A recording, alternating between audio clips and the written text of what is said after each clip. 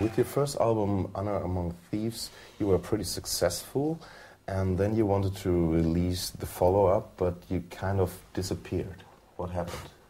Well, we just got caught up in what happened to us. We got sucked into the big music business swirl that happens when things start to go well for you, and it's really tough to fight off the forces that uh, try to influence what you do the lawyers and the managers and the, the media, and it, it goes very very crazy. We ended up changing record companies twice, and it was, I can't even describe the chaos. We finally made an album, it was never released. And uh, then we ended up, by the time of 1990, after the first Gulf War, there wasn't a record deal to be had. The whole industry kind of fell in on itself. So we came over here, we got a record deal in Germany. I think what most people don't know is that most bands that get signed to a major record label last one year. They break up That's a within fact. one year. Because of what we went through. we're either really, you know, courageous and brave or we're really stupid. Or real But stupid. we're not sure yet. and history will tell. Are you the same persons on stage that you are right now, or like, or do you have like stage characters? Where does the performer end and the person begin?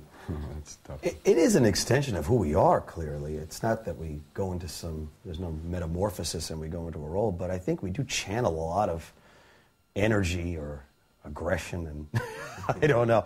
You know, I mean, Pete Townshend used to say this, you know, he would just get on stage and, you know, he was capable of killing somebody, you know, and, and, and I understand that, you know. There is a certain uh, emotion that has to come across in this music, the way Dave writes his songs, the way we play it, the way we've always played it as a band. It's as if our life depends on it. I mean, we were always fans of, of The Who, of course, bands like The Clash. They meant every word they said. You knew it. They weren't fooling around, you know. And I think when we get up on stage, you know, a lot of people say, you don't, you don't smile when you're up there. I'm like, oh, this, this isn't a party. I mean, they were serious about this, you know. Mm-hmm. And we're actually, you know, fun guys. we do smile. Well, but not have- up there. You have to project a lot of energy into that song at that moment, whatever that song's about, and you have to project that visually. And if it's a serious subject, you're not going to get up there and do this. It's a little stupid. You know? It is. It seems silly, for us at least. But no, we've had a lot of people say, "Boy, you're a bit different on stage. You come across so tough and strong and aggressive." And well, the songs call for it. We do that. Yeah. Right? But we don't walk around all day snarling, and screaming at people. Get out of my way, man! What does success mean to you? It's a it's a mix of things where you can feel good about your choices, the things that you're doing, the music that we're playing, but we're doing it on our terms, and that we're making a living at it.